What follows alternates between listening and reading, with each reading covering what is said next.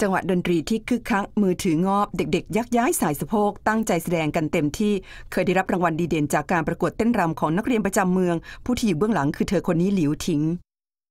ย่อขาลง2 3 4ใช้เข่าตบตามจังหวะ ย่อขาลงเล็กน้อยสองมือยืดขึ้นข้างบน หลิวถิงยืนอยู่ด้านหน้าสุด เป็นคนนับจังหวะดนตรีให้แก่เด็ก ๆ เพื่อเปลี่ยนท่าเต้นหลิวถิงค่อย ๆ สอนทีละจังหวะอย่างตั้งอกตั้งใจและเอาใจใส่ คอยปรับท่าเต้นให้เด็กๆ ด้วย เธอเป็นสาวฮาปิน จบการศึกษาจากสถาบันภาษาต่างประเทศเหลียวหนิง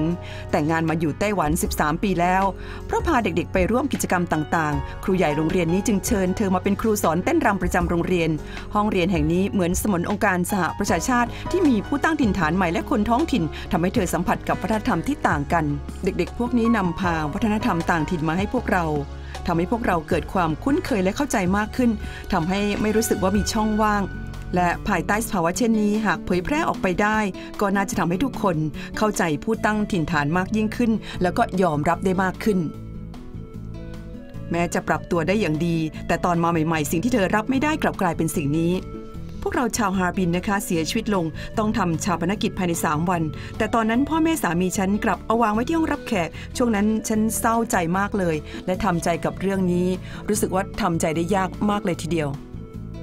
ไม่เพียงดูแลเด็กๆ เป็นอย่างดีหลิวถิงยังพบปะพูดคุยกับผู้ปกครองเด็กที่เป็นผู้ตั้งถิ่นฐานใหม่